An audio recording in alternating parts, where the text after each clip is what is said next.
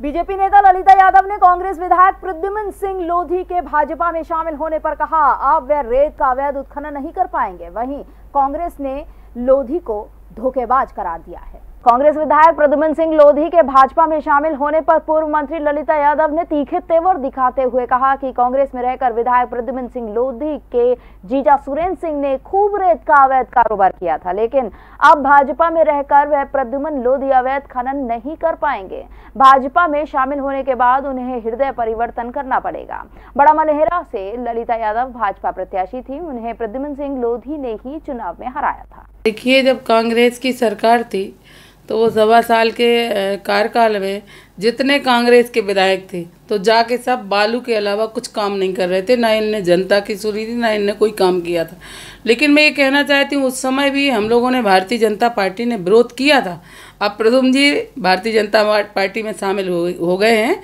ऐसा होगा तो विरोध भी होगा और उनको नुकसान भी होगा। हृदय परिवर्तन तो उनको करना पड़ेगा। जब जो व्यक्ति कांग्रेस की विचारधारा से भारतीय जनता पार्टी की विचारधारा में शामिल होता है तो कहीं ना कहीं भारतीय जनता पार्टी और कांग्रेस की विचारधारा अलग है।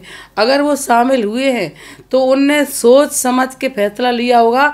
और हृदय परिवर्तन के साथ ही उनने आज भारतीय जनता पार्टी की सदस्यता ली। देखिए आप सबको पता है मैंने आपके चैनल से मैं बोल रही हूँ मैं बहुत बेबाक बोलती हूँ। मैंने आपसे ये भी बोला कि मुझे मल मलहरा से रातों रात कह के चुनाव लड़ाया मैंने छतरपुर से तैयारी की थी। मैं नहीं चाहती थी मैं ये चाहती थी कि मैं जहाँ से तैयारी करती हूँ जहाँ से विधायक हूँ वहाँ से चुनाव मैं लड़ूँ।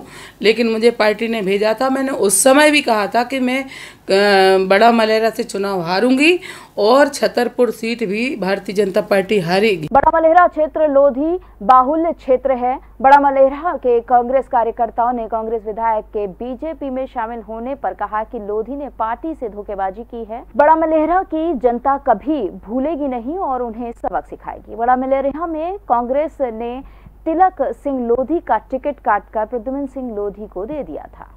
मैं तिलक सिंह लोधी पूर्व बड़े मलेरा कांग्रेस का प्रत्याशी रहा वर्ष 2013 में मुझे कांग्रेस पार्टी ने कांग्रेस से टिकट दी। वहाँ मैंने जनता के बीच में, जनमानस के साथ में संपूर्ण कांग्रेस के कार्यकर्ताओं के पूर्ण लगन से, उनके स्नेह और आशीर्वाद से मैंने 2013 में विधानसभा का चुनाव लड़ा। चुनाव काफ़ी कसमकस रहा और जीत की हमारी प्राय निन्यानबे परसेंट उम्मीदें थी। रात के वक्त होते हुए ही, जैसे ही मध्य प्रदेश में शिवराज सिंह की सरकार बनी और मुझे 1470 वोटों से हार का प्रमाण पत्र थमा दिया गया। मैं पाँच साल लगातार बड़े मलेरा की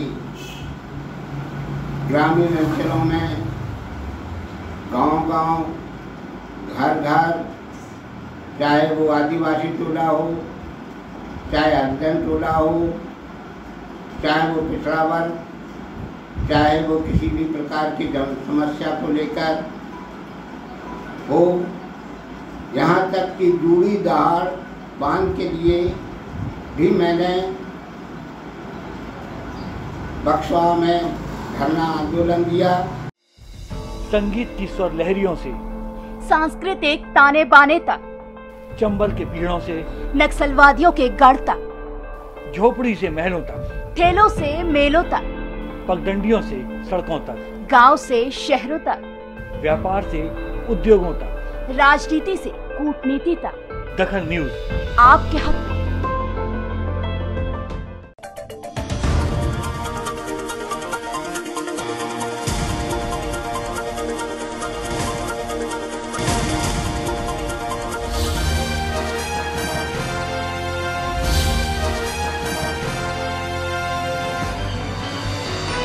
आप देख रहे हैं दखल न्यूज़।